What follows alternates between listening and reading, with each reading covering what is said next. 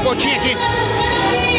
A Expo Direto é um cartão de visita, não só do Rio Grande do Sul, mas pro Brasil, né? Sem dúvida, é muito importante o agronegócio.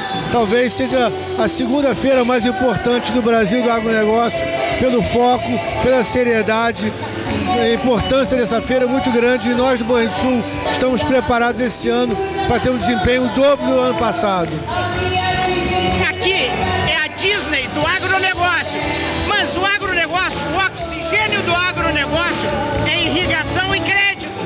Sem dúvida, crédito é fundamental, não só para investimento, para custeio, comercialização. Por isso que nós temos aqui uma equipe enorme aqui, mais de 120 profissionais aqui na feira, estão no nosso stand. Crédito não vai voltar. Não vai faltar dinheiro. Pode voltar som, que não vai voltar, que tá, tá, tá demais. Pode voltar água, mas crédito não. Crédito não vai faltar. Espero que chova, mas se água faltar, dinheiro não vai faltar. Obrigado, obrigado.